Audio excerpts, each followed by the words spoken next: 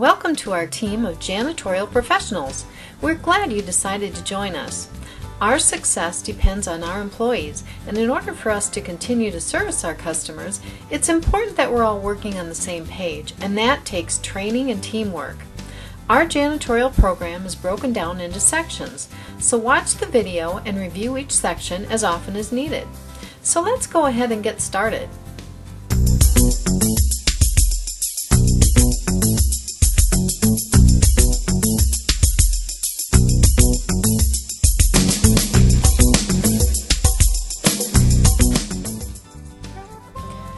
Cleaning toilets, wipe the top of the seat, the back side around the connections, the underside of the seat, and all around the bowl.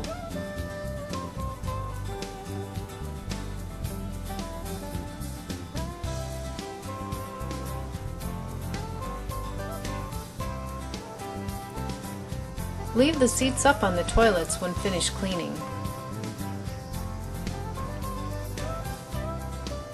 Clean all mirrors and polish stainless steel surfaces using glass cleaner and your blue microfiber cloth.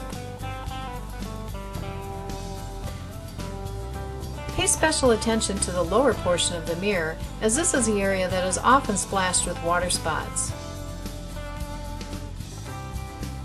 Be sure to look closely, double checking for spots and streaks.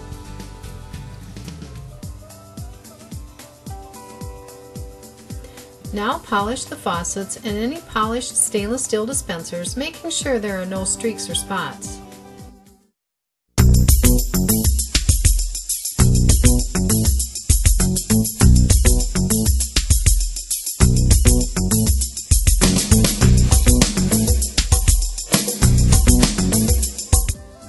As you approach a trash can, look around the area for obvious trash on the floor or underneath the desk.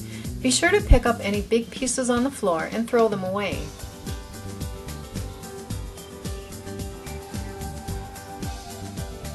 When you're done with an area, replace the trash can in the proper place and push the chair up to the desk.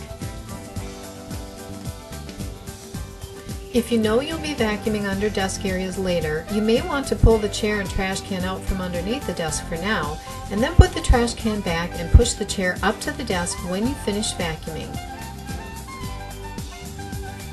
When trashing in an office, you may come across boxes or items that look like trash but haven't been marked as trash.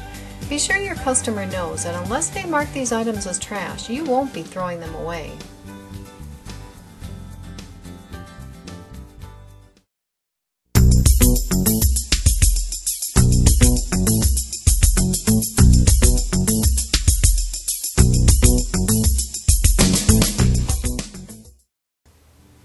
Begin by mopping the corners and edges first and then filling in the open areas by using a figure eight pattern, turning the mop over as one side gets soiled and re-rinsing the mop head as needed.